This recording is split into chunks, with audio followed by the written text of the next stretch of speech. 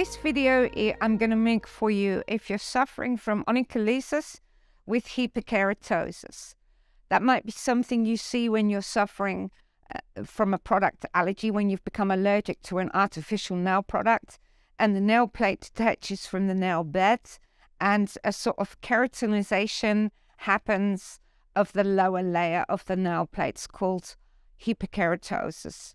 And we want to show you today how to take care of that because we need to break down the hyperkeratosis to solve the problem. And that's a pretty tricky thing to do. We're going to show you how to do it at home. Again, I'm using the gorgeous bowl because um, because I can and because it's a video.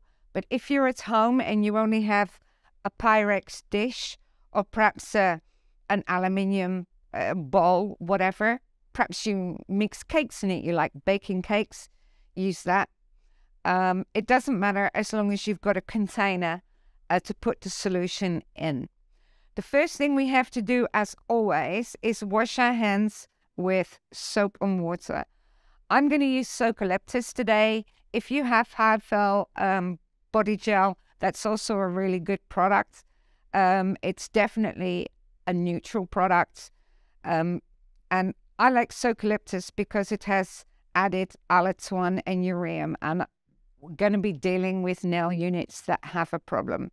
So the first thing we do is wash our hands with soap and water. I'm going to add a little bit of water to the Socalyptus that I already put on my fingers because that creates the bubbles. In Socalyptus, it has no added salt, uh, soap, no added salt. I'm baking, obviously. Um, so first we wash our hands with soap and water and rinse them well. The importance of soap and water and washing our hands is that soap and water uh, will take care of something like 94, 96% of pathogens that could possibly be on our nail plates. And we want to reduce the chance of infections while our nail plates are detached from our nail beds. We want to make the chance of that happening as small as possible. So you're going to need to wash your hands four, five times a day when we're doing this. I'm going to throw this water away now because I want to make a solution to rinse my hands in. And I'm not at the sink, so I'm going to put that into a bucket and put my ball back on my mat. Then I'm going to add one teaspoon of AO Drench. I already have it measured out in a little container here. I'm going to put that into my container contains aluminium, and urea, and it's been brought back to powder form. When we add water to this, um, it reduces the pH as well, slightly of water. But what we've actually done is turn urea and allantoin into a solvent. Now, solvents go through our nail plates really quickly, and that's really important with the problem that we're having now. So we're going to rinse our hands and we don't put our hands, we don't submerge our hands like that. You're going to rinse your hands in this water solution, making sure your thumbs are also rinsed. Because it's solvent, it's going to go straight through the nail plate, underneath the free edge of the nail, between the nail plate and the nail bed, and it will start doing its work already. When we've done that, we're going to dry our hands. And so we're going to use something that is truly amazing. When we have a buildup of hyperkeratosis between the nail plate and the nail bed, that it's like the lower layer of the nail plate, the skin starts to keratinize and it gets thick. Um, we'll show some, we'll put some pictures in here so you can have a look and see what we mean. We're going to use Cutical, developed by Jim Nordstrom and Doug Schoon. Cutical has the capability to break down the walls of ills, of calluses, and also of hyperkeratosis, with the added advantage we don't have to stop it working. it's when we've sprayed it and used it, we don't need to, it, it, there isn't like a, an acid chemical reaction. Um, it will take care of the skin and it will start to break the wall of the keratosis down. And what we do is simply spray it between the free edge and the nail plate. Cuticle will only work where it needs to work. Okay?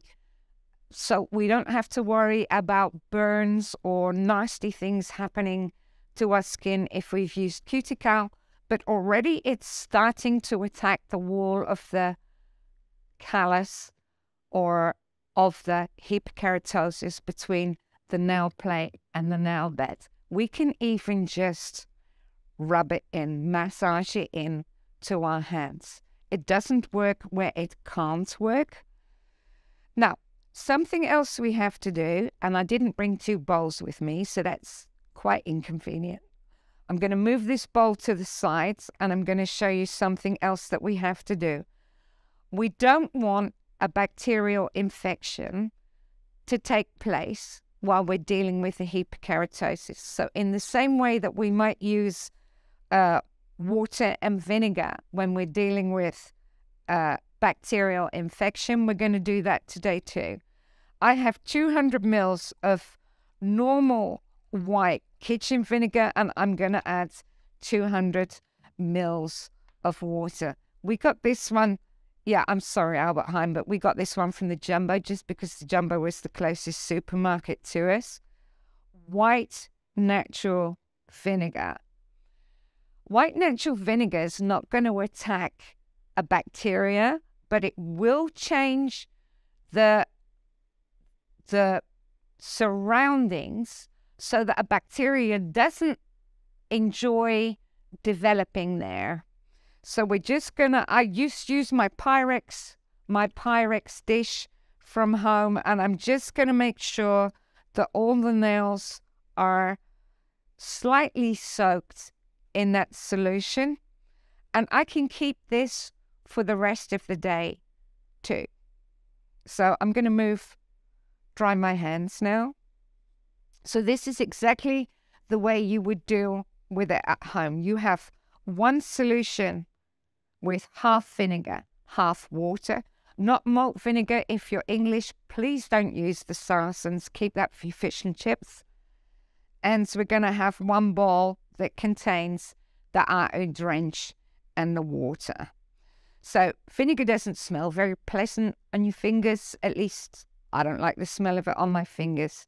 So I'm going to rinse my hands in my Au drench solution. And then I'll just dry them.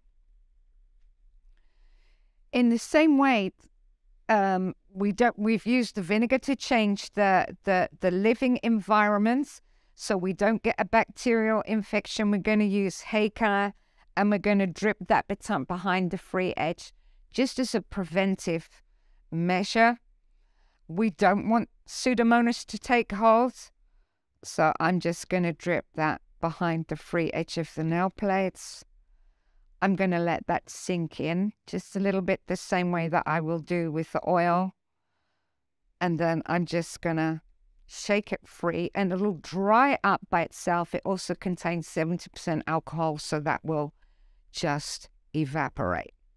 When I've done that, I'm going to choose an oil. If I have normal award winning, multi award winning daddy oil, CBD daddy oil if I need a slightly more intensive oil, and CBD elixir, which is the powerhouse that we can be slightly more lazy with. Um, today, for this video, I'll use the normal CBD oil, and you just drip that behind a drop behind every free edge of the nail plate. Keep your hands up like this while that's happening, the oil's traveling down the proximal nail folds. We've taken care of the hyponychium. It's gone between the nail plate and the nail bed. And then we can just rub it in. And we will finish with lotion gold. Again, out of the ReLeaf line, again developed by Jim and Doug. and a very small amount. You need no more than this. Give that lid a little tap to close it. This is made of sugar. This is biodegradable. It's it's made of sugar cane. I think it is in English. Um, and it's biodegradable. It's not plastic, so you're going to love that.